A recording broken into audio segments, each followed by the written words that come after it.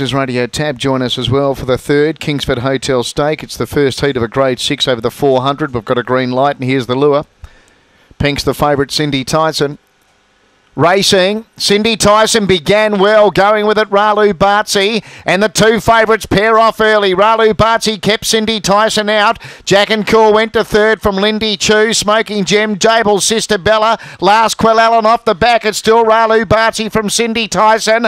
Uh, then Jack and Chew and Lily Chu. It's on the inside, Ralu Bartzi. The outside, Cindy Tyson. Cindy Tyson went home best to beat Ralu Bartzi. Lily Chu third, then Smoking Gem, Jack and Cool.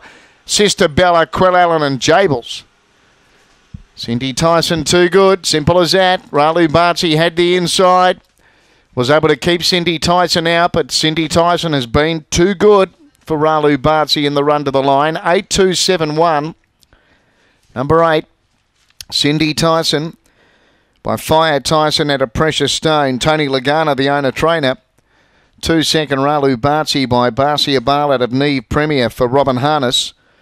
And seven Lily Chew by Barcia Bartlett of Smoky Conquest for Matthew Payne. 827, one ran fourth Smoking Gem. The time